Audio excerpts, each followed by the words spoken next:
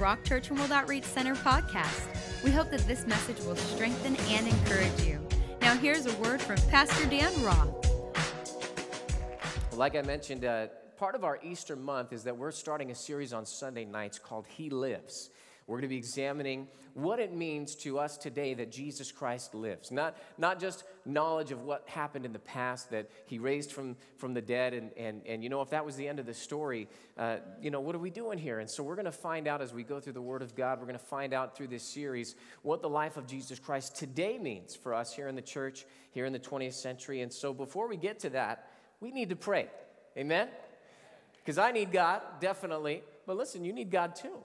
And we don't go to church to hear from a man or a woman, the young or the old, the black, the white, the brown, the tall, the short, any other type of personality or any of that sort of thing. We go to church to hear from God. So stand your feet, would you? I'm going to get down on my knees and let's go before the Lord in prayer. If you have your Bible, get your Bible, hold it in your hand, and let's honor the Lord tonight. Father, we come to you tonight in the mighty name of Jesus. Lord, we're just thankful tonight for the life of our King Jesus. We're glad that he didn't stay dead, he didn't stay in the grave, but he lives.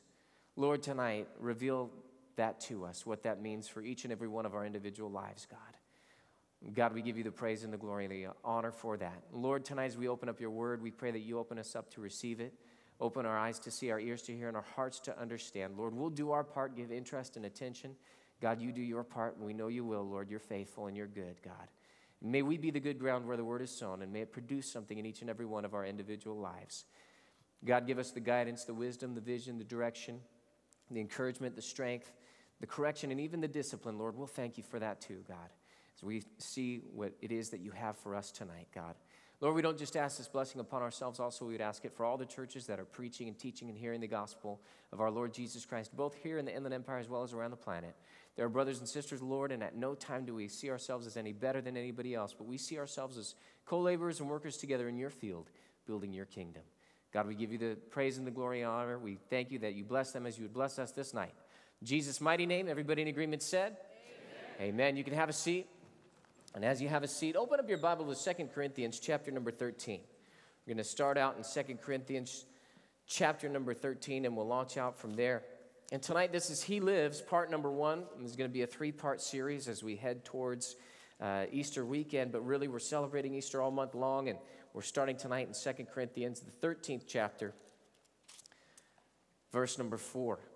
2 Corinthians chapter 13, verse number 4 says this. It says, For though he, notice the capital H speaking of Jesus, it says, For though he was crucified in weakness, yet he lives by the power of God. For we also are weak in him, but we shall live with him by the power of God toward you. Tonight, as we look at the Word of God, I, I want to just examine some of the things about this verse because it's a power packed verse.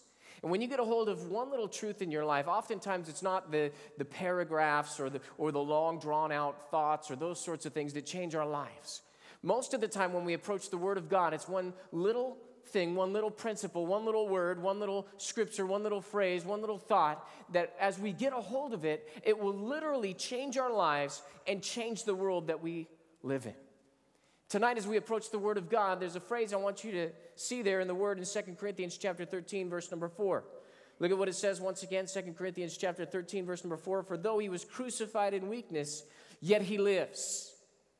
See, Jesus Christ was crucified, yes, and yet he lives. Jesus Christ had died, and yet he lives.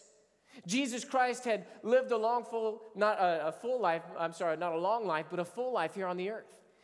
Some scholars believe around 33 years. And, and, and, in that short time he was on the earth, he impacted the world, but then he went to a cross. And as he hung on that cross, he gave up his spirit and he died, and they put him in the grave. And yet, as we see in the verse tonight, he lives. He lives. He didn't stay in the grave, he didn't stay dead. Death could not hold him, the devil couldn't stop him. See, our, our, our, sin couldn't even keep him down. Why? Because he has the power of God working on his behalf. It was the power of the Holy Spirit that raised Jesus Christ from the dead. See, nothing like this in history it had ever happened before. Yes, there were others who were raised from the dead. You remember that uh, there, there was the, the prophet in the Old Testament, Elijah, and he went and, and he raised the, the widow's son, right? He, he raised up that, that boy. And, and, and, we find out that there were people that were raised up in the Old Testament that had died and yet they lived. Remember, the prophet's bones were there in the grave, and what happened? There were some guys that were digging out and they were getting ready to put this guy in, and all of a sudden a band of raiders came out. And what do they do? They throw the dead man into the prophet's grave because they had to defend themselves. And there they are fighting, and, and all of a sudden, here comes their friend who was dead up next to them. That would have tripped me out. I don't know about you. I, I, I would have been kind of scared at that point. Like, what, are you doing? Didn't we just. But, but what happened here was totally different. See, it wasn't the power of another, it was Jesus Christ alone, dead in a tomb. And what happened was, was that the Spirit of God raised him up. See, even though he was crucified in weakness, yet he lives. He lives. How does he live? He lives by the power of God. And then it says, For we also are weak in him. What does that mean? See, when we live our lives and when we go in Christ Jesus, that old man has to die. That old man has to be put away. That old man has to be buried in the grave. And when we come out, we come out a new man, just like Jesus Christ. No longer the old man. See, that old stuff has passed away. Now I am a new creation in Christ Jesus. Oftentimes, I see this as the, as the reason why, when you examine Christians and you, when you take a look at the life of people who come to church that may call themselves a Christians, there's a marked difference between those that are saved and unsaved, yes, but also those Christians, true, genuine Christians, that if we died, we would go to heaven. But there is a marked difference between the true Christians that are living the new life of Jesus Christ and the ones who are still operating according to the old life, to the old man. You see this time and time again in the lives of people. A lot of times people say, well, the church is filled with hypocrites. Well, what I believe is that, yes, there may be some that are hypocrites, but also there may be some that don't realize what it means that he lives. See, because he lives, now all of a sudden it changes my life. Because he lives, it changes my perspective. Because he lives, it changes the way that I get direction, get wisdom. It changes the way that I respond to the world around me. It changes the way that I approach every new day. It changes the way that I approach marriage, changes the way that I raise my kids, changes the way that I do finances, changes the way that I do relationships, changes the way that I speak to my neighbor, changes the way that I, I conduct myself in the marketplace and amongst people that are outside of the church. See, because he lives, now all of a sudden I have a new life, I have a new perspective perspective, and I really live in a new reality. I live in the life of Jesus Christ. And so tonight, I'm going to put a statement up He lives. And we'll complete this statement a couple of times tonight and see what it means that because Jesus Christ lives, because He lives, yet He lives. But what does that mean to us today? Are you guys ready for this tonight? All right, praise God. First thing, He lives, number one, so we can enjoy real life. There are a lot of people enjoying life, but the Bible tells us that the pleasure of sin is passing. See, we could get discouraged as Christians when we look at the world and we say, man, they're, they're out there making money, and, and, and yet, you know, my pursuits take me away from that. And I know that, that God doesn't want us to pursue riches, He wants us to pursue His kingdom first, and then He'll add to us all that other stuff. See, God wants to bless and prosper your life and doesn't want you to feel bad about having wealth, but at the same time, He doesn't want wealth to have you. And see, we could get discouraged looking out because sometimes, in order for wealth not to have us, there's a sacrifice. There's, there's something that we have to do called giving. There's something that the Bible wants us to do called sharing. And where we could have stored up and we could have had more, now God is telling us to deny ourselves. And we say, we say, well, if I didn't have to do that, I could have this.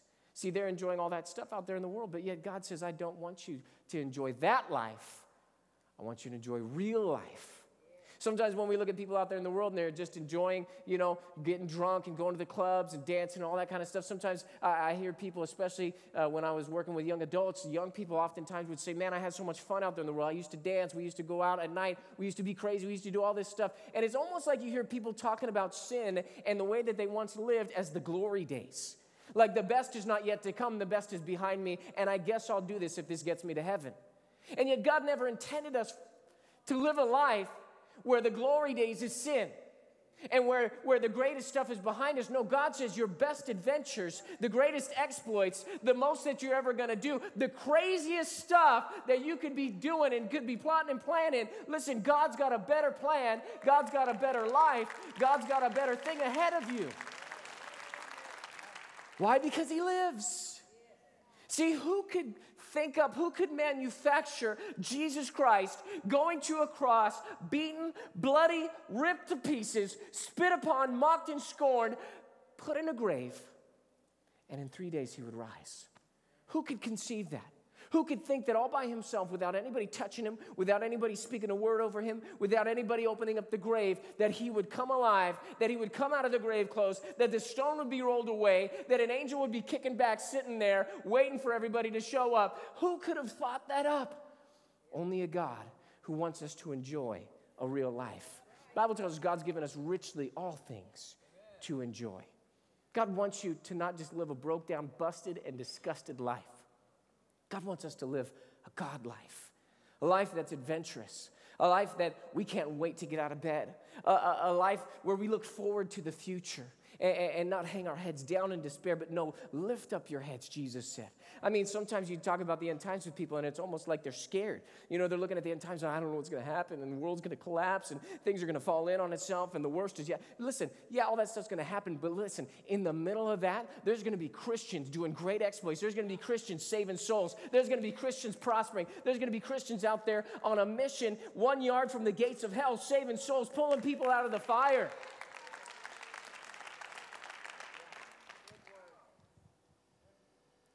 We can enjoy real life. We see in 2 Corinthians chapter 3, verse number 14, that the avenue of Jesus' death was a cross. Uh, if we could put that verse back up on the overhead, 2 Corinthians 13, 4. Notice it says, For though he was crucified, how? In weakness. Now that's the New King James Version says in weakness. I looked up this word in. I was just thinking about this. He was crucified in weakness. Does that mean that Jesus was weak? Well, we see Jesus, he did miracles, he did signs, he did wonders. Jesus didn't, uh, uh, uh, Jesus wasn't taken to the cross. No, Jesus went to the cross. It's quite a difference. And, and Jesus wasn't weak, he was meek. He was submitted to the will of his Father and went willingly to the cross. See, that shows me that there was strength. So when I saw this in weakness, I thought, that can't be. How could it be? That he was crucified in weakness. And yet, when we, I looked at this little word in, it really talked about from a place of, from a point of, from something that was springing forth. See, it was a starting point, it was a, it was a place. Jesus emptied himself of the glory of the Father. Jesus came, veiled in flesh, as a man, submitted himself to the weakness of the flesh, submitted himself to feeling and touching and having to eat and, and, and, and the things here natural feelings, emotions. That's why you find Jesus laughing. That's why you find Jesus weeping. That's why you find Jesus talking. That's why you find Jesus angered. That's why you find Jesus going after people and wanting to put his hands and bless the children. That's why you see Jesus wanting to teach and wanting to take time and wanting to relax and sit back and allowing people to lean back on him. See, Jesus submitted himself, and from that place of weakness, he was crucified. The real word is better understood in the older translation. If you have an old King James Version, it really says he was crucified through weakness, or launching from that point of weakness, he was crucified. His crucifixion sprang forth from a place of weakness, but his life springs forth from the power of God. You read 2 Corinthians 13 4 says, For though he was crucified in weakness, yet he lives, how? By the power of God. So his life springs forth from, or it starts at, or it begins, the, the new life starts at the power of God. And by the end of the verse, we see that the life we live springs forth from the same power of God as well. Notice the end of the verse, it says, For we also are weak in him but we shall live with him. How? By springing forth from, starting at the power of God toward you. That's what this is about tonight. So, what does it mean to live? See, it'd be one thing to just say, live and enjoy life, but what, is, what does it really mean to live? I was thinking about this and I looked it up, and most of the time we think of to live as to breathe, to be among the living, not lifeless or not dead. We say, oh, if you're not dead, you're life. You know, and sometimes we get that, that sort of philosophy, that mentality. I've heard some people say, well, any day above ground's a good day, you know, as long as I'm not dead. And, and, and I get that. I understand that. That's okay. But let's, let's go beyond that surface level understanding of life. That is not living. Breathing is not living. Existing is not living. Yes, in the natural, in the basic sense, sure, I'll give you that. But what is the life that God wants us to live? Well, when we look at the biblical usage, it means to enjoy real life, to have a true life worthy of the name. See, there's a name that God has given us, that name of Jesus. And as we live a real life for Him, now we're living worthy of His name. Active, blessed, endless in the kingdom of God, having vital power in itself and exerting the same upon the soul, to be full of vigor, to be fresh, to be strong, to be efficient, to be active, to be powerful. See, that's the life that we see in the Bible. When you start to study out this life, you find out. I found this word. You guys ready for this? This is a $20 word. I spent a lot on this word tonight. It's one of those good words that you may have heard before, but you never knew what it was or you thought it was a curse word. But I'm going to say it, and I'm not, I'm not saying anything bad, I'm not swearing, but the word is efficacious. See, you're looking at me like I was looking at the dictionary, reading this. And I said, What is that? Listen to this. Listen to this. I love this. I love this. Successful in producing a desired result. That's the kind of life God wants us to live. Not a life that's a failure, not a life that doesn't produce the desired result. See, God wants us to live a life in Christ. Why? Because Christ's life was effective. Christ's life produced the desired result. Jesus said, I always do the will of God. I always do the things that God tells me to do. I only speak what I hear. I only do what I see. And his life was effective. Things happened. When Jesus came on the scene, the scene changed. And when Jesus died, death couldn't even hold him. Death itself had to submit to Jesus Christ, and death itself now changed. Death, where is your victory? Where is your sting? Why? Because he lives. He was effective, and now that life, God has placed it on the inside of us. Jesus in us, Christ in us, the hope of glory. And now our lives can be effective for the kingdom of God to the glory of God. Wow. That means God isn't interested in you having a broken, pitiful life. He wants us to enjoy real life. Real life is only found in Christ. Christ is still dead and not raised again. Like Paul said, we are to be the most pitied of men. Why? Because we have no hope. We've got no purpose. What are we doing? Why would we sacrifice? Why would we give? Why would we love? Why would we go out of our way? Why would we suffer if there wasn't a resurrection? If Jesus wasn't at the right hand of God, waiting for us, preparing a place for us? John 10 10, very familiar verse. You can turn there if you like, or I'll put it up on the overhead. It says, The thief does not come except to steal, kill, and destroy. See, the devil is interested in defeating you. Devil's interested in depleting you and the devil's interested in deleting you. See, the devil wants to come to steal, deplete, kill, defeat, and destroy, delete. He doesn't even want you to have a legacy on the earth. And yet, look at the rest of the verse. I have come. This is Jesus speaking. Jesus said his life is lived. Why? That they may have life, the God kind of life, real life. But not just life, not just breath, not just existing, that they may have life and that they may have it how? Oh, come on, you guys. I'm preaching way better than you're responding right now. How can they have that life? How can they have that life? More abundantly. See, that's a life that's overflowing. That's a life where there's no lack. That's a life where there's supply. That's a life that is full. That is a life that is effective for the kingdom of God. Many doctors and nutritionists are trying to add years to your life, but God wants to add life to your years. Are you listening tonight?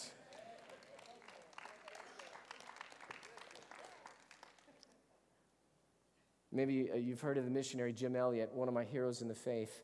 29 years old. Didn't live a long life. Listen to what he said. He said, I seek not a long life, but a full one like you, Lord Jesus. Said that wrote it in his diary.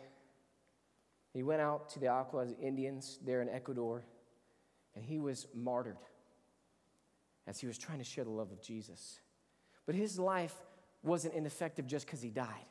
His life was so effective that his wife and the wives of the other men who went with him that were also martyred went in and loved these people to life, loved these people, told them about Jesus, and now the very people who murdered their husbands are living for the Lord telling other people about Jesus. And the whole tribe knows the name of Jesus Christ. That's the God kind of life. Whether how long or how short you have on this earth, it doesn't matter. God wants you to live an abundant life, a full life, a life of Christ. Second thing, he lives. First one is so that we can have a, enjoy a real life. Second thing, he lives. Number two, so we can follow him. See, Jesus asked us, yes, to follow him to the cross. He said, anybody who comes after me must take up his cross and die, right? But Jesus didn't ask us just to stop there. Jesus also wants to, us to follow him into life, that we would live that resurrection life that he lives now. Jesus wants us to follow him to the cross so that we can also follow him in the resurrection. That means die to yourself every day. That means that you put the flesh under. That means that you're not living for yourself any longer. No, now you're living to Christ. Love what it says in Galatians chapter 2, verse number 20. Galatians chapter 2. Let's turn there together. Galatians chapter 2 and verse number 20. It says this Galatians chapter 2, verse number 20. It says, I have been crucified with Christ. It is no longer I who live, but Christ lives in me. And the life which I now live in the flesh, I live by faith in the Son of God, who loved me and who gave himself for me. See, he says, I, I, I, I've died. There's no more old man. That old man, that old rascal, he's dead. And, and now the life that I live in the flesh. See, we, we, we understand that the day we said yes to Jesus and we asked Jesus into our heart, we didn't naturally die and fall over dead. Any more than when Adam and Eve partook of the fruit of the tree of the knowledge of good and of evil, they physically died. No, it was a spiritual thing that happened. So when we said yes to Jesus and we received Jesus into our heart, we asked him into our heart and life, made him our Lord and Savior. Now that old man died spiritually and we have been born again. And now the life that we live in the flesh, we live how? By faith in the Son of God who loved us and who gave himself for us. Wednesday night, Pastor Deborah taught a message about the favor of God. And, she talked about the ark that Noah went into. I don't know, anybody here Wednesday night, you caught, I mean, if you didn't get a hold of that, you need to go to CD Counter like pronto tonight after church, okay, and, and get a hold of that. Well, what she started to talk about was how Noah went onto the ark, and the ark was not a boat that had a rudder that could turn and, and, and guide you in a direction. You could not, on the ark, plot a course and, and have any sort of sail or any power or any rudder to steer yourself to get into a direction. All you could do was float. And, and, and, afterwards, Pastor Jim was mentioning, and, and I myself personally have been meditating on this. Just change your life when you start to think about that. Why? Because if you died and you've gone into that box, right? A dead man goes into the box, right? So here's Noah. He, he builds this ark and then he goes into the box. And now he has no way of steering his own life. He's got to trust God. The life I live in the flesh, I live by faith in the Son of God who loved me and gave himself for me. See, Noah could not make his own direction, could not plot his own course. He had to trust that God was going to land him on the right place at the right time and that him, his family, and all the animals he was taking care of would be okay. In the same way, we, as we die to self, see, sometimes we want to we want to steer our life. We want to have a hold of that rudder. We want to plot a course. In fact, we've already plotted the course. Many of us, I know myself, yes, control freak. I want to plot my course. I want to tell God, God, this is how it's going to be. God, here's the steps we're going to take. God, this is the outcome. And God says, Oh, no, I didn't place you on an ark with a rudder. You look in the Bible, the only rudder you have is your tongue. That's another message. When we enter the life of God, we now follow His direction for our life. In other words, we are allowing the Spirit of God to move us, to give us direction, to do what God has called us to do. Romans chapter 6, great, great section of Scripture. Romans chapter number 6, talking about that old man's dead, and now we're living the new life in Christ, taking our direction from Him. Romans chapter 6, we're going to read verse number 4 through verse number 9. Romans chapter 6, verse number 4 through verse number 9. Take a look at what it says with me together. Romans chapter 6, verse 4 says, Therefore we were buried with him through baptism into death. See, we died. The old man went to the box. That just as Christ was raised from the dead by the glory of the Father, even so we also should walk or live out our lives, how? In newness of life. So, just as Jesus went to the grave, we go to the grave. But just as Jesus was raised from the dead, so also we are raised from the dead. So the question is why are we living like the old man? Question I've often asked myself. Why? Because we're not living in newness of life. We're not allowing the life of God to be lived through us. Why? Because we are doing our own direction, our own thing, rather than God's direction and God's thing. Verse number five For if we have been united together in the likeness of his death, certainly we also shall be in the likeness of his resurrection. Why he lives, so we live.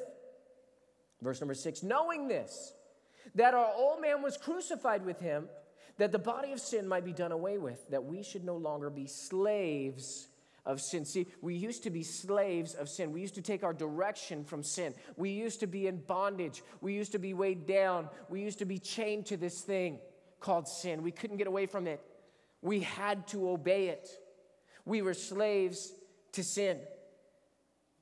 But look at this, verse number seven For he who died has been freed from sin. See, no longer does a slave serve a master that he's dead.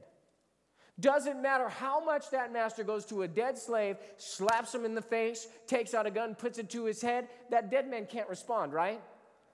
See, and that's how we as Christians have to live to sin, is that we got to put ourselves back in the box. We got to be dead.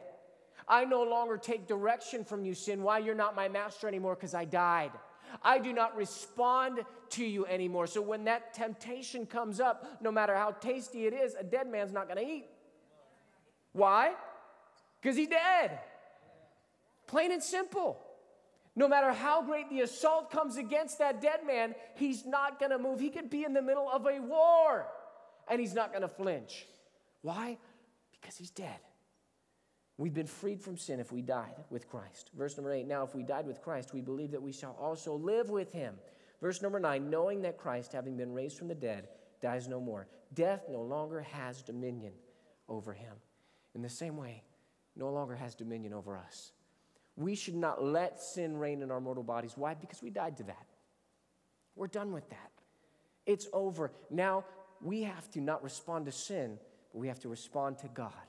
We no longer live to sin, but we live with Christ. The life that we live in the flesh, we live by faith in the Son of God. He lives so that we can follow him. Number two. Third thing for today, last thing that we're going to take a look at for tonight. He lives, number three, so we can hope so we can hope. You know, without the resurrection, there's no hope. That's evidenced by the disciples. Think about the disciples for a moment. Standing there watching their Savior be taken, bound, beat, watching Jesus be put on trial, and wondering wait a second, wait a second, if he's the Messiah, I thought Messiah was supposed to come and take over. I thought Messiah was supposed to be this great military leader who, who freed the Jews from the oppression of the Roman government. I thought Messiah would come and set up his reign on the earth as king. And, and we would reign with him forever. I, I, that's my picture of Messiah. So here is their one who they have professed. All of them have said, We believe that you are the Christ, the Son of the living God. And now their Christ, their one who they had preconceived notions of, here he is getting beat up. Here he is with Roman guards punching him in the face and ripping out his beard and spitting on him. Here he is with the leaders of the Jews, the ones who should be bowing down and honoring him as their king, spitting at him and mocking him, laughing him to scorn. And so the disciples, I can imagine, were very troubled, wondering had they just wasted three years of their life following this man.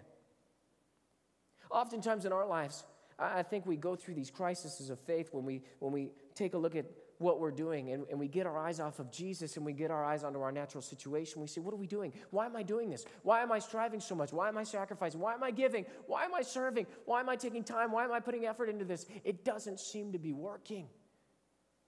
And yet we have to remember to keep our eyes on Jesus. Why? Because he lives. And the fact that he lives gives us hope.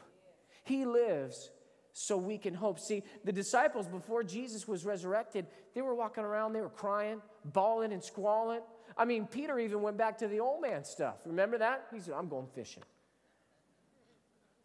What do the other disciples say? No, Peter. Jesus said he was going to be raised again in three days. Didn't you hear him? He said, Let this sink into your head. I'm going to go and be abused and go to a cross and die. But don't worry. You know, Jesus said all that to them. He told them what was going to happen beforehand.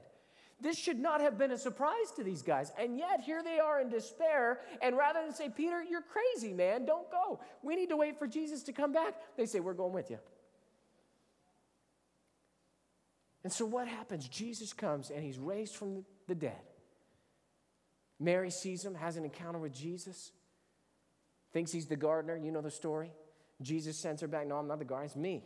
Rabbi, teacher, right? She's all excited. Why? Because now there's hope. Because he's not dead, he lives. And so she runs back to tell the disciples. Disciples, Peter and John come running, right? They have a race. John comes up, outruns Peter, takes a look, bows down, looks into the grave doesn't see anything. Peter, Peter's Peter, man. He's not going to stop at the edge of the grave. He goes running in, right? He's going to investigate and see what's going on. Now all of a sudden there's hope. Now all of a sudden there's something going on. Now all of a sudden there's life. Something's happening. They follow Jesus and now they're realizing that it's no longer in vain. No, he lives and now something great is going to happen. Same thing in our life. When we get our eyes off of Jesus, we'll get into despair, we'll get depressed, we'll get discouraged. Things won't be happening. But listen, when you have hope, it doesn't matter what's going on around you. Doesn't matter the present circumstances. Because your eyes aren't on the present pain. No, your eyes are on the prize, the upward call of Jesus Christ. He lives. He's not in my past. He's not dead. No, He's alive and He's in my future. He's in my present. He's here and now. He's in the midst of this with me, and I have hope. See, where you're at today is not where you're going to be tomorrow. Where you're at tomorrow is not going to be where you're at next week or next month or next year. See, God is not finished with any of us yet. And the very fact that He lives means that we can have hope for every new day. Hope keeps you going. Hope gets you going on. Hope is the blueprint for faith to go to work on. Hope keeps you tough in tough times. Hope gives you vision through the fog. So you may not know the direction, and yet if you have Jesus Christ, you've got that hope. Doesn't matter that you can't see around you. All you know is Jesus Christ is alive and He's got me. He's, he's, he's given me direction. I may be on an ark without a rudder, but He's going to take me where I need to be. Don't know how it's going to work? He'll make it work. Last scripture for tonight 1 Peter chapter 1. Go there with me. Last verse for tonight. You guys still doing okay? Praise God. 1 Peter chapter 1. And I would encourage you, if you feel discouraged and you feel like you have no hope, you need to read 1 Peter chapter 1, verse 3, all the way down through verse number 12. But I'm going to read just one of those verses tonight, but I don't know who that's for. Somebody tonight, you feel discouraged, you feel like you have no hope. You need to dig into this section of Scripture because just by reading it and meditating on it, read it, read it several times. Read it several days over and over again until it gets deep down on the inside of you. Confess it over your life, speak it over yourself. Tell yourself, this is me. This is what's happening in my life. God's going to encourage you. 1 Peter chapter 1, verse number 3. Take a look at what it says. Blessed be the God and Father of our Lord Jesus Christ, who according to his abundant mercy has begotten us again. You know what that means? It means you were born once, but then you died, and now you're born again. So he has begotten us again to a living hope he has begotten us again. We've been born again to a living hope. How? Through the resurrection of Jesus Christ from the dead. What's that mean? That means because He lives, He is our hope. And it is a living hope. It's not a dead hope. It's not futile hope. We don't hope as the world hopes. Oh, I, I hope so. I hope maybe it's going to happen. Maybe someday in the sweet by and by where, you know, when I fly away and meet him up in the sky. No, that's not the type of hope we're talking about. We're talking about a confident expectation that because Jesus is alive, it secures every promise of God for my life. And now my hope is in him. I can expect him. I can go to work with him. I can believe him. I have faith in him. I receive everything that he has for me. And now, doesn't matter what the present holds, your future is bright because he lives. What did we learn tonight? What did we learn tonight? Three things. We learned number one, he lives so that we can enjoy real life. Second thing we learned for tonight is that He lives so we can follow Him. And final thing that we learned for tonight is He lives so we can hope. If you got something from the word of the Lord tonight, come on, give God a great big praise. Hallelujah. God is good. Hey, before I let you guys go tonight, a couple more things we're going to do. I want to just take a moment of your time and talk to you. I want to talk to you about your eternal life. It's one thing to come into the house of God and have a good time like we did and sing songs and enjoy. beautiful painting like that. Get into the Word of God. You guys were great tonight, by the way. Thank you for allowing me to speak that into your lives. I really believe you do. You did get something from the Word tonight. Let's not stop there. Let's make sure that before you leave this place that you really do have the life of God. That you really are born again, like we saw. Remember, we, we saw that term that we had to die and be born again. A lot of times people don't know what being born again really means. Sometimes people think that if you're born again, that just means you're a good person. You do a lot of good throughout your lifetime. Do you know that nowhere in the Bible does it say that being good gets you into heaven? It doesn't work like that. You can't be good enough to get to heaven. And so being born again doesn't just mean being good and then you get to go to heaven, be with Jesus, have eternal life. There's going to be a lot of good people in hell. And tonight, I love you enough, respect you enough, and honor you enough to tell you the truth. You're not going to make it to heaven just by being good. In fact, the Bible says the standard is perfection. The only one who is perfect, his name is Jesus. And our good works compared to God's goodness are like filthy rags to God. Not going to make it. Going to be thrown out. So tonight, let's make sure that you, if you died, that you would go to heaven and not hell.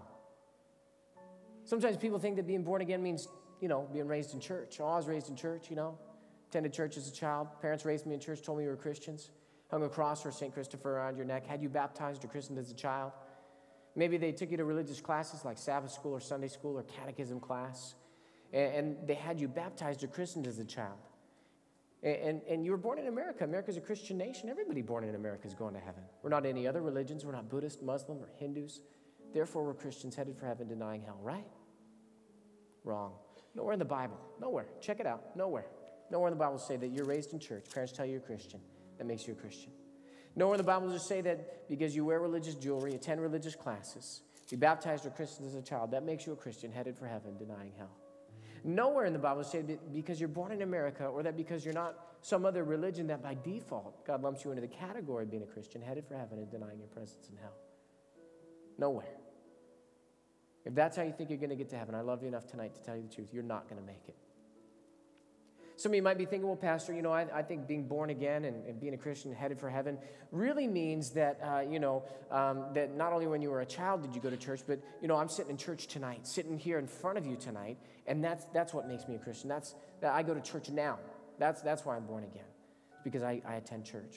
You know that nowhere in the Bible does say that you're born again, headed for heaven, denying hell because you sit in church service, call yourself Christian? It's not there. That's like saying I could go down to my garage, sit in my garage in my house, call myself a car, and that makes me a car. It doesn't work like that. It doesn't matter how long I sit there, or even if I make honking noises. I'm not a car. I'm not going to make it to heaven. Be born again just because you sit in church, call yourself a Christian. That makes you Christian. It doesn't work like that. Sometimes people think, ah, but, but I, I, I, my last church I got involved, I helped out, I sang in the choir, made decisions in that church. People thought of me as a leader, even taught in the Bible classes, and got a membership card to that church. That's great. Glad you did those things. But could you just show that to me in the Bible? Would that get you into heaven? Church involvement get you born again. It doesn't work like that. Nowhere in the Bible say helping out, carrying the pastor's Bible, making decisions, people thinking of you as a leader. You teaching the Bible classes or you get a membership card that God is waiting for your membership card at the gates of heaven before you can enter. It doesn't work like that. Come on, tonight, let's love you enough, respect you enough, and honor you enough to tell you the truth.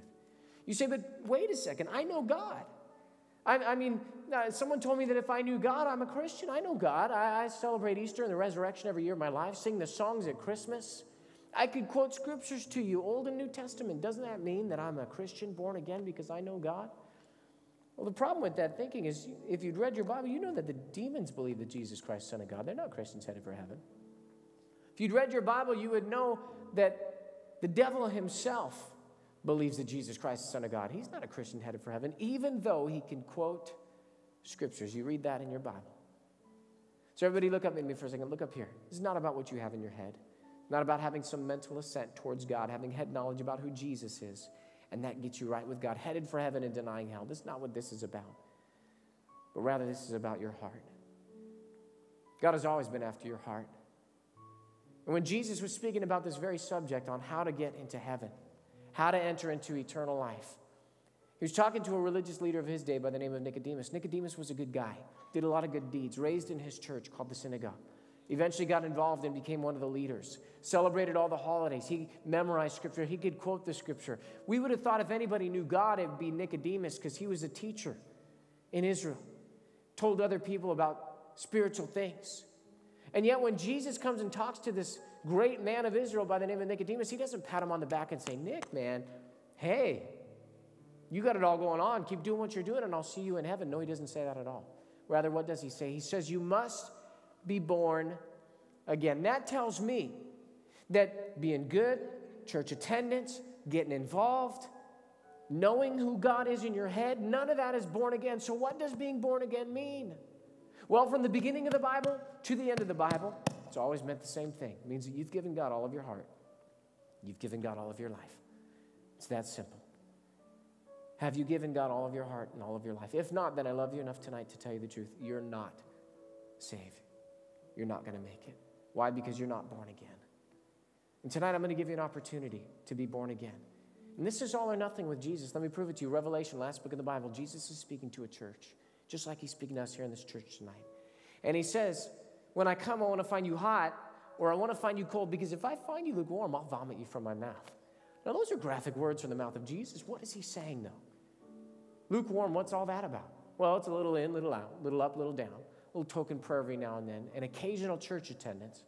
God is something in your life, but He's not everything, and you're not opposed to God, but you're not wholehearted for God. Listen, if that's your relationship with Jesus Christ, you're not going to make it. In a moment, I'm going to give you an opportunity just like this. I'm going to count to three, pop my hands together. One, two, three, bang. Just like that. When you hear the sound of my hands popping together, bang. That's your opportunity to give God all of your heart to give God all of your life. All you got to do is simply raise your hand and acknowledge your need for Jesus, just like this. I'll see your hand up. I'll count it. You can put it right back down. You say, whoa, whoa, wait a second. Time out. If I raise my hand, I'll be embarrassed. People will see me. Uh huh. But get over that embarrassment. Why? Because think of the trade off. Isn't it better to be embarrassed for a moment than it is to be in hell forever and ever and ever and ever? No one would make that trade. Jesus made this statement. He said, If you confess me before men, I'm a man, I'll see your hand go up. He says, I'll confess you before my Father in heaven. He said, But if you deny me, I will deny you. No one wants Jesus to deny them. Why? Because that means eternal life in hell, away from God forever and ever. So tonight, come on, push past that embarrassment. Get your hand up if you know you need to do this and get right with God in this safe and friendly place. Listen, we're all rooting for you. We're all excited for you. We all did this at one point or another, somehow or another. And listen, we want you to do this. No one's judging you, no one's criticizing you, no one's condemning you. You say, but Pastor, I feel like you're pushing me. Yes, I am. Why? Because the devil's pushing you into hell. And listen, I'm, I'm just loving you enough right now to get aggressive with you and get in your face a bit and let you know that you need to give God all of your heart. You need to give God all of your life. Hey, it doesn't matter if you're embarrassed. Even if you are, it's better than ending up in hell. But you can do that in a safe and friendly place. Probably won't even be embarrassed. Come on. You can do this tonight. Who should raise their hand in a moment if you've been running from God instead of to God? I'm speaking to you. Who should raise their hand if you're not sure about your salvation? Come on, tonight, make sure. Who should raise their hand if you've never done this? Never given God all your heart and life? Come on, I'm speaking to you. Or finally, who should raise their hand? Well, if you're lukewarm in this place, you know that's the condition of your heart. You need to get right with God. You can do that by simply raising your hand in a moment. All across this auditorium, back in the family room, wherever you're at, if you're watching by television in the foyer, the Love Rock Cafe, or online tonight, come on. You can get right with God by simply raising your hand. God sees right where you're at. Then if you're on campus, you can either tell an usher or come into the church service right afterwards. If you're online, click the blue button that says respond to God. Here we go. I'm going to count to three. Pop my hands together. This is your time. This is your moment of salvation. Here we go. One, two, Three, let me see your hands. Let me see your hands. Just raise them up high right now. Thank you. There's one. There's two. God bless you guys. Who else got those guys over there? Two wise people tonight already. Two, three. Thank you. God bless you. Anybody else, real quick? You know you need to give God all of your heart. You know you need to give God all of your life. There's three wise people. Where are you at? Come on. Be bold tonight. Don't wait. He lives for you, and He wants you to live in Him. If that's you, you haven't yet given God all your heart and life, and you know it tonight. Come on. Just pop your hand up when I'm looking in your direction. Anybody else, real quick? Come on, come on, come on. I know there's more than three. You need to do this. If that's you, anybody else, real quick? Anybody else? Thank you, number four. God bless you. Who else tonight? I didn't embarrass them. Won't embarrass you. Come on, come on. Just pop it up. Pop it up. Thank you. God bless you. Anybody else, real quick? Five wise people already. Anybody else? Come on. Your heart's pounding out of your chest. You're saying, God's just tugging at my heart. Come on, let's respond to God right now. Anybody else, real quick? Best decision of your life right here. You won't regret it.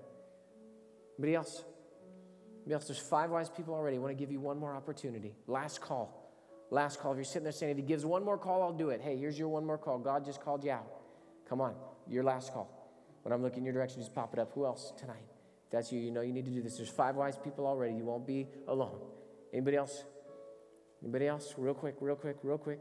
Pop it up. All right, well, let's give the Lord a praise for five wise people. Hallelujah. All right, all five of you, or if you should have raised your hand but you didn't, it's not too late. Here's what I want you to do. Once you get a hold of your coat, purse, sweater, a Bible, a friend if you need a friend. And I want you to get in the aisle and meet me up front because tonight we're going to change destinies. You don't get saved by raising your hand, you get saved when you invite Jesus into your heart. We want to do that with you, but we can't do that till we get you down here. So let's all stand and welcome them. If you raise your hand, you should have raised your hand, you come right now from the foyer. If you heard that, you raise your hand, come on in. You come right now. Just make your way to the front. No one leave. Let them come right now. Come on, come on, come on. Lord, I give you my heart. I'll give you my soul. They're coming. Let's give them a hand as they come. And I'll live You can come too. For you alone. Every breath that I take, and every moment I'm From the family rooms, you can bring your kids if you need to. Come on down. They'll remember this. Lord, Come on down. have your way in me. All right, they're still coming. Come on, there's still room for you. You can come too. I'll give you my soul. I'll live for you. All right, well, thank God you guys have come. Everybody's kind of huddled over here. That's cool. Don't worry. Listen, we're not going to beat you up or anything like that. Just take a breath, okay? It's cool. Put a smile on your face. It's a good thing. Is not a bad thing.